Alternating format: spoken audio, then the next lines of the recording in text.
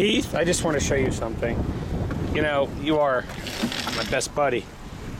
But I filled this up this morning for you at like 4 o'clock. It's busy. I don't know if you can see the tops of those Bud Lights there.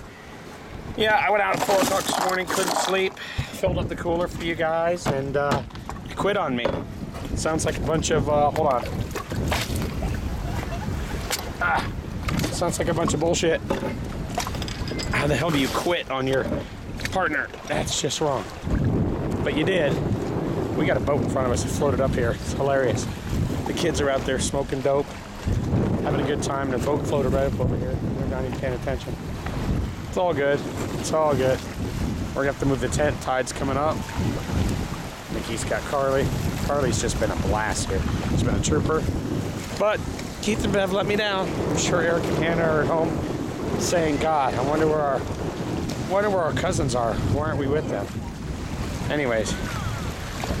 Look at her. Carly, are you in the water? Her feet sunk. Let me see. Here, let me turn around. Luke, Carly, Carly, what are you doing? Oh, I don't know. Uh, Keith, Bev, that's your goddaughter.